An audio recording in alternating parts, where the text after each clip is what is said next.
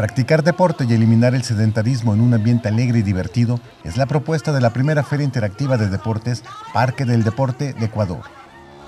La pista del exaeropuerto capitalino alberga más de 20 actividades, donde los concurrentes conocen diferentes formas de realizar actividad física.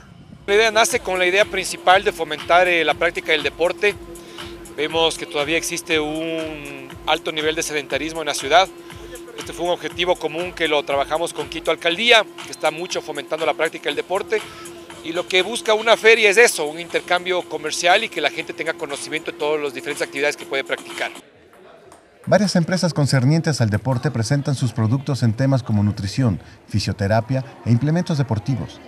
Asisten clubes del torneo profesional de fútbol, tales como Barcelona, Independiente del Valle y Liga Deportiva Universitaria este último con stands donde los visitantes pueden fotografiarse con la Copa Libertadores obtenida en 2008. Una gran cantidad de ciudadanos ejercitan en la feria, al tiempo que adquieren conciencia de los beneficios del ejercicio para la salud y para evitar enfermedades, sobre todo cardiovasculares, ocasionadas en su mayoría por el sedentarismo. Con información de la oficina en Quito, Ecuador, Noticias Xinhua.